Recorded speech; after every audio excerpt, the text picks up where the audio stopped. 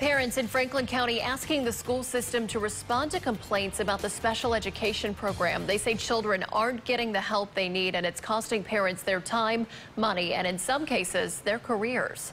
WSLS 10's Rob Manch explains how the school board is responding. Parent Robin Mays says this is a battle she's been fighting for the last five years. As the county prepares to approve another annual budget, she's trying to make sure it includes new special education teachers and programs.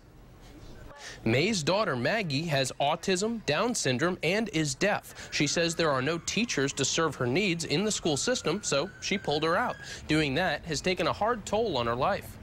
It's cost me my job um, because the school had a um, contract with my employer, and my employer told me not to abdicate anymore. And um, have a hard time doing that because I have a child that has special needs. Mays wasn't alone in protesting the board Monday night, citing a Roanoke Times article that quoted Superintendent Mark Church calling the claims against the school system frivolous. Thanks to these parent complaints and help from Senator Bill Stanley from Virginia's 20th Senatorial District, the Department of Education launched a three-week investigation into the school system last October.